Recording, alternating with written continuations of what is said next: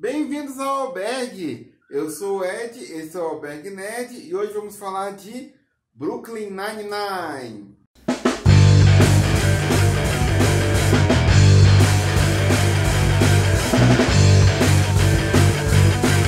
Albergue Nerd.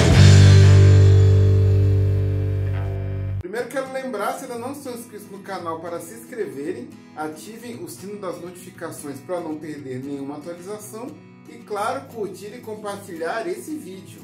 Brooklyn Nine-Nine estreou dia 17 de setembro de 2013. Já tem sete temporadas, sendo que seis delas estão disponíveis na Netflix. Como eu terminei ontem tudo que tinha disponível da série nessa plataforma, me senti compelido a falar dela essa semana, porque mais pessoas precisam conhecer essa maravilha. Brooklyn Nine-Nine conta a história da 99ª Delegacia do Departamento de Polícia de Nova York e seus peculiares policiais. Começamos a acompanhar essa delegacia quando ela está prestes a receber um novo capitão, Raymond Holt, um homem sério, responsável, que precisará lidar com um detetive que é competente, mas também muito relaxado e infantil. Esse detetive é Jake Peralta, vivido por Andy Samberg na primeira impressão, pensei que seria um personagem ruim, ainda mais com as piadas que ele tinha no começo. Mas eu não poderia estar mais errado. Não só essa impressão saiu rapidamente, como o personagem foi melhorando muito ao longo dos episódios e das temporadas. Acredito que essa sensação inicial que alguns possam ter tido é justamente pelo atrito causado pela chegada do Holt na delegacia, que antes era administrada por um capitão relaxado. Assim fica mais evidente a influência positiva que Holt tem em Peralta e nos demais policiais. Mas mesmo sem ele, todos vão se revelando personagens cada vez mais interessantes conforme a história vai se desenrolando. Hoje, por mais que eu adore o Jake Peralta, se alguém me perguntasse qual o meu personagem favorito de Brooklyn Nine-Nine, eu teria muita dificuldade de responder porque gosto de todos por motivos diferentes. Esse é um dos pilares que tornam essa série imperdível, personagens carismáticos e cativantes. Também o roteiro, que consegue colocar a temática policial em diversas situações de humor, sem esquecer a parte investigativa, além de uma crítica social acertada. E algo que eu ouvia falar da série e pude confirmar assistindo é que ela tem muita representatividade. Talvez seja a que mais possui e a que melhor utiliza isso em seus episódios. E um personagem bom para se falar sobre esse assunto é justamente o Capitão Raymond Holt, vivido pelo excelente André Brower. Um homem negro e gay. Em muita série ou filme ele seria resumido nisso. Seria o negro da história ou o gay da história. Mas a abordagem em Brooklyn Nine-Nine é outra. Ele é negro, é gay, mas não se resume nisso. Ser negro e gay são duas características do personagem em meio a tantas outras que são muito bem abordadas ao longo dos episódios. E por ser uma série de comédia, seria fácil e raso fazer piadas sobre a sexualidade do personagem. Mas ela brinca com outras características dele, sua extrema seriedade, a dificuldade dos outros personagens em ler suas emoções e expressões e o intelecto dele. E uma piada recorrente é quando o Holt precisa se disfarçar em alguma missão e escolhe o disfarce de homem hétero. É simplesmente hilário. O Holt talvez seja o melhor e o maior exemplo, mas como eu falei, tem muita representatividade. Dois homens negros, dois personagens LGBT+, três mulheres, sendo duas delas com ascendência latina, e mesmo tendo como protagonista o já citado Jake Peralta, que é homem, cis, hétero e branco, ele surpreende e se revela um personagem muito desconstruído, a ponto de, ainda na primeira temporada, se envolver numa briga com alguém que ele considerava um ídolo para defender seu capitão de um ataque homofóbico, além de arriscar a própria carreira para prender o filho de alguém importante em outro momento fora sua relação com as mulheres, mostrada de maneira saudável em toda a série, já que ele cultiva amizades com elas e age verdadeiramente como amigo, sem insinuações sexuais o tempo inteiro. E mesmo quando ele começa um relacionamento amoroso, não age de maneira tóxica na relação. Um bom exemplo disso é quando surge um ex-ficante da sua namorada. Em outra série, isso seria um problemão, seria pesado, o tema de um episódio, ou de vários com rompimentos, mas aqui foi bem tranquilo. E fora isso, o Peralta não tem problema nenhum em achar outros homens bonitos, deixando isso claro em muitas ocasiões. E já que eu falei delas, as mulheres em Brooklyn Nine-Nine são ótimas personagens, bem construídas, com destaque na trama e não são sexualizadas pelos personagens masculinos. Lembra de Big Bang Theory? Como Leonard se aproxima da Penny já com uma segunda intenção? E o Howard nas primeiras temporadas olhava para ela como se fosse um chacal olhando para a presa? Ou o Joey em Friends, que estava sempre preparado para mandar o seu How you doing para as amigas? E Barney em How I Met Your Mother sempre com aquelas insinuações sexuais, até mesmo com Lily? Aqui os homens não fazem isso com elas e além disso as mulheres estão plenamente integradas nas tramas e investigações da 99. Em Big Bang Theory, mesmo quando aumentou a quantidade de mulheres no elenco, elas não gostavam muito das coisas do mundo nerd, tudo parecia estranho para elas, como se aquilo fosse coisa de menino.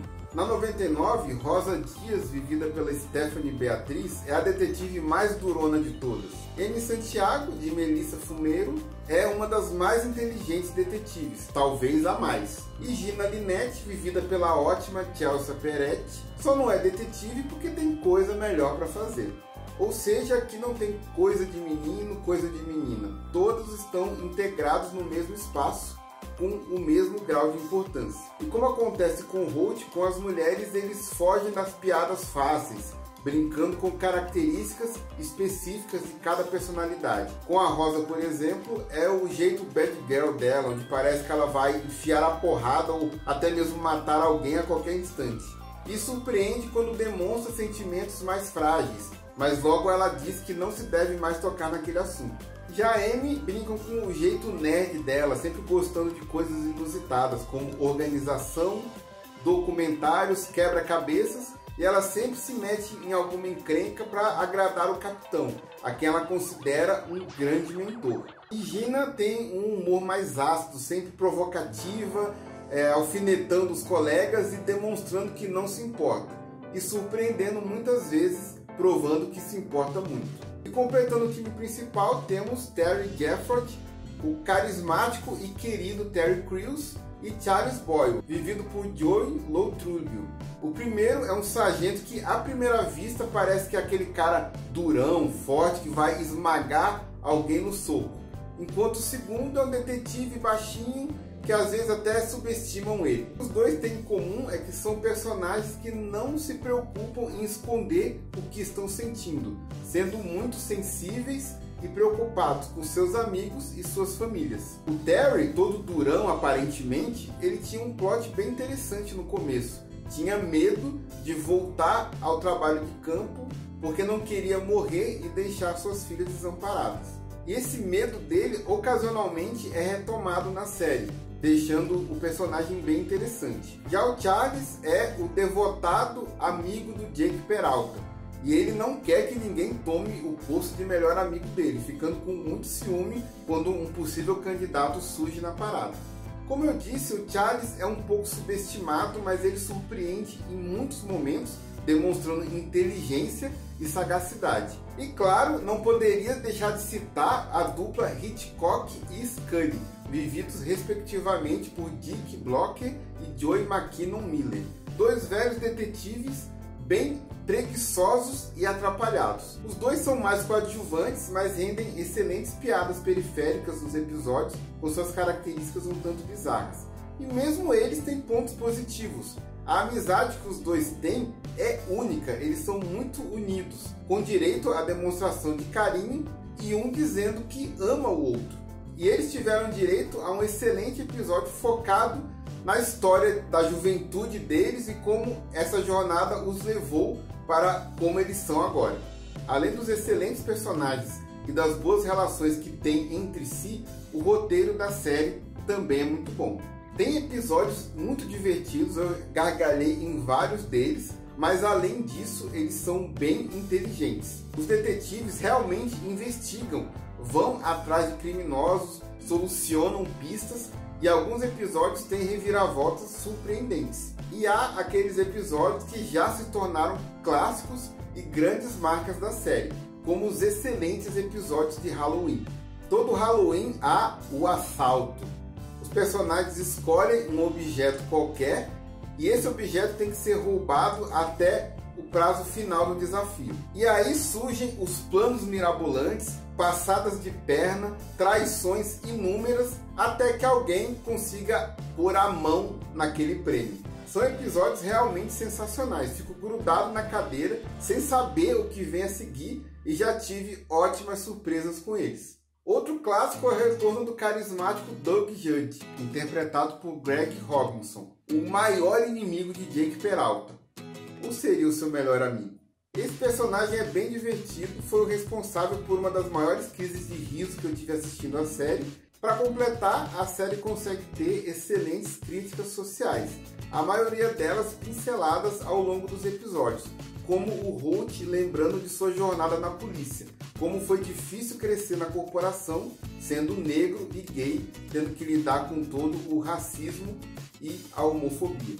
E ainda falando de preconceito, há um outro momento ótimo quando uma personagem decide sair do armário e precisa lidar com o medo de contar a sua verdade para a família. Essas críticas espalhadas ao longo dos episódios por si só já seriam excelentes, mas a série foi além, trazendo um ótimo episódio focado no Terry, tratando sobre racismo, e um focado na Amy com o tema de assédio sexual.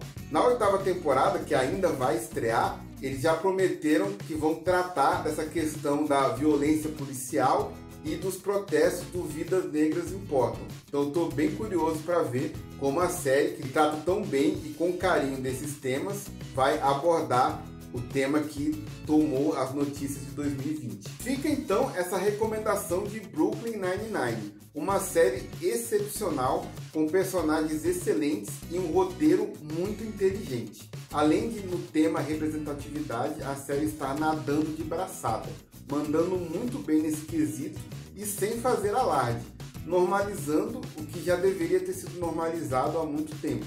Respeito, aceitação e masculinidade saudável.